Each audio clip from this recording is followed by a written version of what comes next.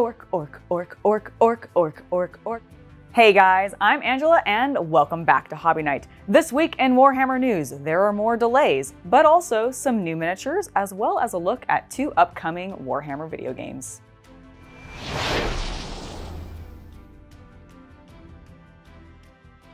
At the beginning of this past week, Games Workshop announced on the Warhammer community site that there was going to be a delay in any pre-orders for the next couple of weeks. And they didn't be very, they weren't very specific about any of this. I assume that this delay in any pre-orders happening is due to the disaster that has been the Cursed City launch and the delay in even, or not even delay, but like the limitations on the Be'lakor launch let alone whatever else has been delayed. But they're not doing any new previews, which is probably good for them just so that they can maybe catch up. And I hope that they do in fact catch up and actually start getting product out to people because I know a lot of people are waiting on not just Cursed City or other things, but just even older kits from last year and stuff that still haven't arrived to them. So I'm hoping they're getting that all under a wrap. But I imagine it is a number of things that are actually affecting this. I assume Brexit's still probably a problem. COVID is obviously still slowing a bunch of people down. We are still seeing delays not just in you know the wargaming community as part of Warhammer, but we're also seeing it amongst other board game places and other toy factories and like that kind of stuff. All of these places are having delays, and I'm sure it expands even beyond that. I'm just not as aware of it because I don't follow those products. But it's really unfortunate that this is happening. I just hope that they actually are able to use this time to catch back up and maybe actually make some announcements about what's going on with Cursed City. When will there be more Be'lakors available for purchase? Those kinds of things. Like some of those answers would still be nice for them to address, or those questions would be nice for them to address. And I hope that they do. Let me know how you're feeling about it down in the comments. And while we were filming this news episode, GW announced that they were going to start having pre-orders available starting May 8th, which is great news. That means they're communicating with us, they're giving us some dates, which is excellent. And the first thing that's going to be up for pre-order is Hive War, the next expansion for Necromunda, which I think we've seen a little bit of already, and I'm expecting to see more of it in the next couple weeks as we approach the pre-order date.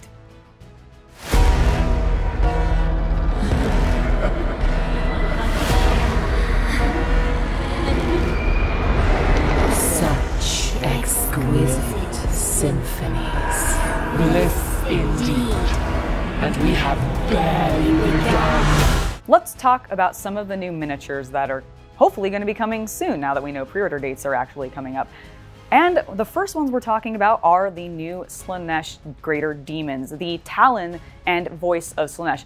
These models look spectacular, and it gets me thinking because I don't know if these models are going to have rules for 40k, and I'm wondering because we've already had the Keeper Secrets as a recent release for Slaanesh Daemons as a new Greater Daemon model, and personally, I would actually like to see some like new Bloodthirsters. I mean, I guess Be'lakor kind of functions as one, but a new Great Unclean one um, would be awesome. A new variation of the Lord of Change would be great. So I was kind of surprised that we were getting more demons.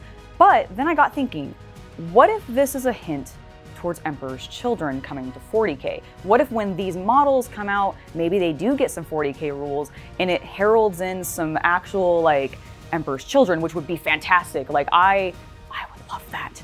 I would love to actually see those boys come back and see them get a codex or at least some support or something or some new models. Like it'd be glorious. And these greater daemons look like they would fit that aesthetic super well. Obviously, it's Slaanesh, so of course, but I just, I would really love to see that.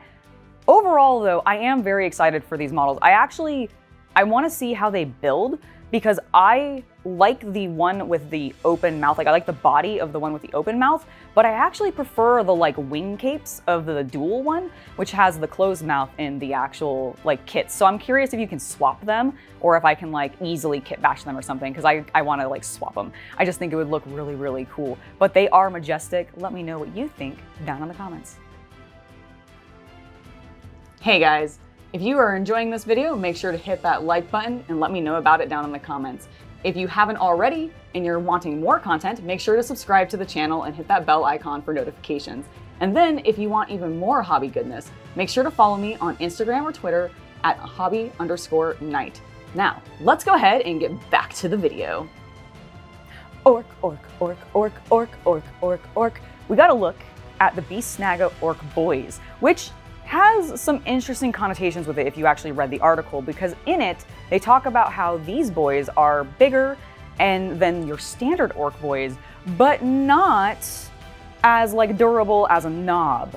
So like, I'm curious if this means we're getting like Primaris Marines. Do you think we're gonna end up, or not Primaris Marines, sorry, Primaris Orcs. Like, I think that means we're getting Primaris Orcs coming soon, and I'm wondering, does that mean normal Orc boys are going to kind of get put to the wayside in the same way that like firstborn Marines kind of don't get used as much tournament wise, and we're just going to see like Beast Snaggas converted into your normal Orc boys because I assume they're going to be more feral. If you look at the one model that they have shown us, he has some like skins and stuff on him, which is really cool. It's actually one of the reasons I'm interested in this faction so much because I really like the mix of those like leathers and skins and the the feral orcs mixed in with the 40k like lore and guns and I don't think they're going to have that many guns, but there might be some. So I really like that aesthetic that they're going for and I'm very excited to see what the variation of these boys are because I actually think it's been a while since orcs have gotten any new just boys models. I know these aren't going to be specifically them because they describe them as being larger, but it's been a while since orcs have gotten a lot of new kits, so I'm glad to see that we're finally getting some. Speaking of orcs, we got a preview of the Black Orc team for Blood Bowl 3, which is looking smashing.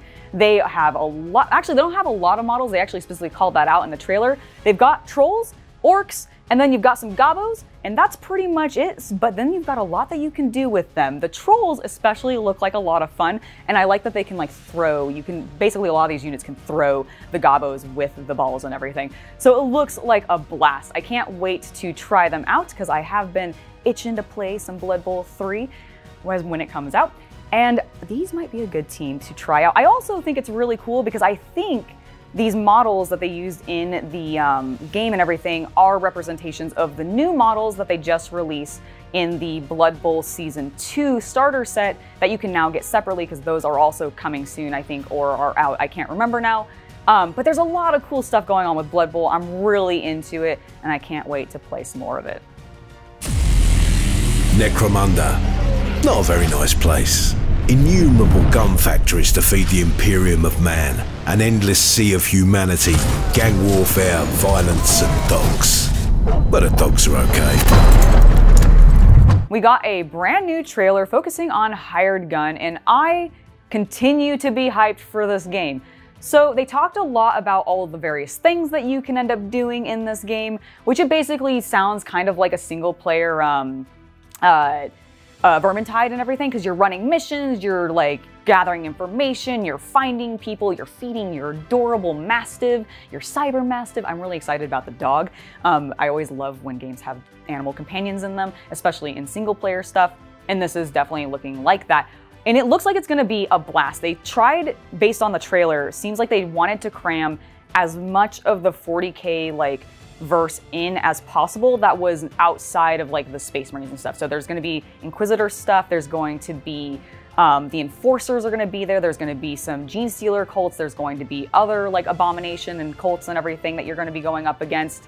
Plus, there's going to be like a bunch of just characters that probably have models and like spread throughout the various games and everything that you can see and enjoy in there, which looks really, really cool. And the gameplay looks like it's going to be a lot of fun, honestly. Like it just it's not to be very deep. I don't think there's going to be some grand story, but it definitely feels like one of those games you can jump in and just be like, all right, I want to run a mission or I want to just go on like a murdering spree in this hive and just like fight through the mob of whatever. This is the game for you. And I think I'm probably going to be picking it up. Let me know if you will be down in the comments. All right, that has been this week for Warhammer News. Hope you guys have enjoyed it. I do want to talk a little bit about the poll that I put out last weekend after doing the Cursed City video. Um, it was actually very split, which was honestly surprising to me. I was expecting it to swing one way or the other. But that being said, I think for right now, I am going to hold off on Cursed City for a bit. Mostly because there wasn't a huge enough swing going towards it. Also, the metrics for it haven't been super great. So I wanna give it some time to see if maybe they're gonna like come out with more stuff. Now that does not mean that I won't be painting more of Cursed City in the future. I'm just not going to be focusing on it right now. And do not worry for tomorrow's video, because if you were wanting some Castlevania goodness, well, I've got you covered with a brand new painting video that I'm very, very excited for. So I hope you guys are looking forward to it as well. In the meantime, I have been Angela. You have been watching Hobby Night. Thank you guys so much for watching. And I will see you guys tomorrow in a brand new painting video. Bye.